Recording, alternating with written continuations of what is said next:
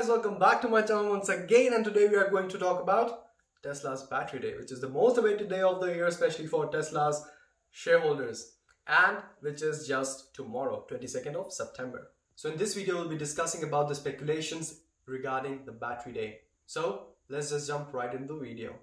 Ah, but before we jump into the video, I request you guys to please hit and smash that like button and subscribe the channel if you haven't subscribed yet because the last channel had some complications so I had to reopen the channel and repost all the videos and therefore this is really important for me and because really amazing stuff is still yet to come.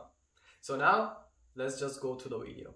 So the first speculation, or let's say not exactly a speculation because this actually should be the main topic of Tesla's battery day.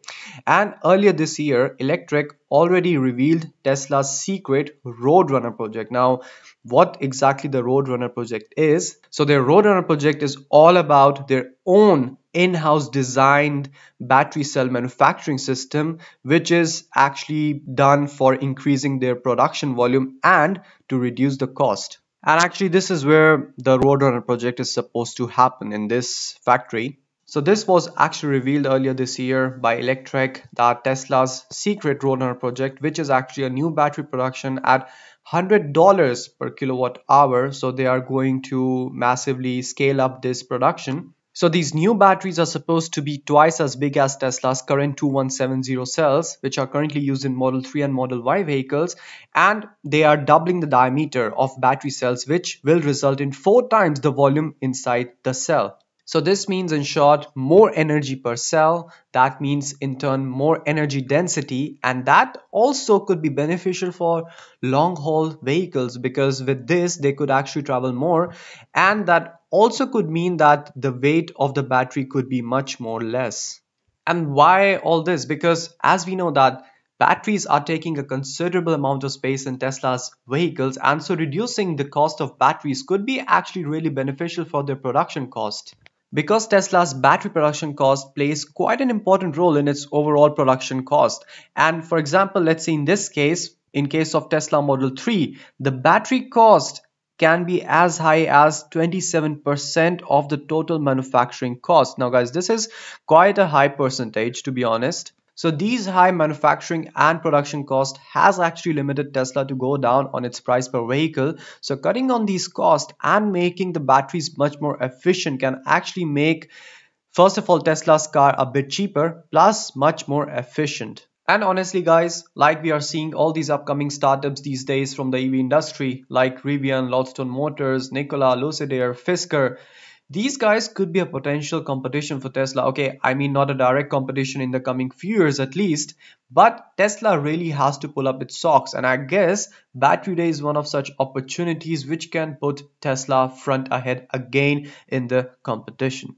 Now there's another speculation involved when we talk about energy rich density batteries is that whether Tesla is using silicon nanowire anodes in its batteries or not because this technology has a much higher energy density than typical EV batteries but it has a drawback because since it is using silicon and silicon expands a lot during its discharge this can be really bad for the battery's life cycle. And this brings us to our next point which is Tesla's million mile battery. So a million mile battery simply means that how long it can last in a car before breaking down. And as the name says it means that the battery can last up to million miles and just to put things into perspective, an average EV car maker guarantees the lifespan of the battery up to 200,000 kilometers. And this is our second speculation about which Elon Musk might discuss or reveal its progress on the battery day because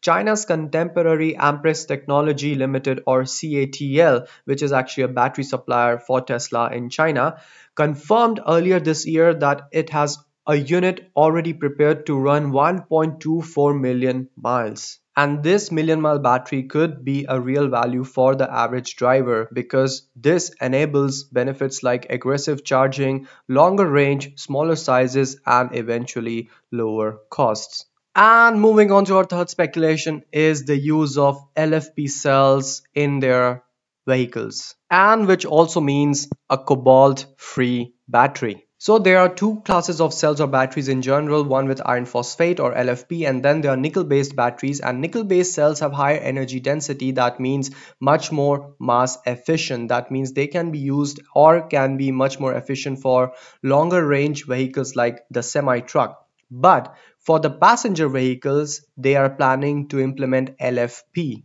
Okay, so now why to eliminate cobalt from the EV batteries? Because they do have a really high energy density, which is a really good thing. But the disadvantages which the cobalt mining involves actually outweighs this one single advantage. The first disadvantage is really high cost involved in the cobalt mining and the second and the most important thing is the unethical means which are involved in the cobalt mining and these unethical means are really not environmental friendly so mined nickel and cobalt mineral supply is only available at a fraction of the scale of mined iron and phosphate supply. So that means iron and phosphate as minerals or metals are available in abundant as compared to nickel and cobalt and which makes nickel and cobalt much more expensive as well. And the most important thing guys is that with LFP there are reports that they have already achieved $80 per kilowatt hour at the pack level which is already $20 less than the nickel based batteries. And the LFP has further a potential to come down on the price because they are now nowhere near the mineral cost floor which means that LFPs mineral components which are phosphate and iron are so much in abundance like we already talked before or we saw before that even when almost all vehicles sold will be EVs in future there will be more than enough minerals to supply the batteries required. So that's it guys, with this I conclude my video and these speculations might really affect the EV industry overall and could take Tesla to the next level. But with that being said, the news shared or the facts revealed on Tesla's battery day could be actually far away from the reality if you're talking about coming two to three years. But again, guys, we're talking about the stock market, which at this moment is also far away from reality. So I'm quite positive about the Tesla's stock price because the, after the battery day, the investors might get really hyped up and it might influence the investors in a positive way. And this could also influence the stock price in a positive direction. And this gives us another opportunity to play with the Tesla stock. I mean, not for the people who are planning to hold it for a long, longer time, but again, who look this as a trading stock, this might be your opportunity to trade the Tesla stock. So as a disclaimer guys, I myself have bought three more shares of Tesla and I'm looking forward for the Tesla's battery day and I would be planning to trade Tesla stock. I'm not planning to hold it for a longer time because like I said, I'm looking for much more uh, opportunities in the meantime. So let's see what the future holds. So that's it guys, that's all for today. I request you guys to be with me on this journey and continue this journey with me because there is, like I said, there is a lot of stuff which I have to share with you guys. And yeah, so that's all for today. See you in the next one. Till then, stay happy, stay safe. Ciao.